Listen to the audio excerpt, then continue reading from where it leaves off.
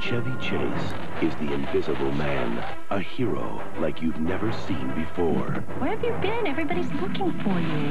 When do I get the invisible man? In a movie like you've never seen before. We're the only people that can give you your life back. I can see through my eyelids. I can see through the top of my head. Chevy Chase.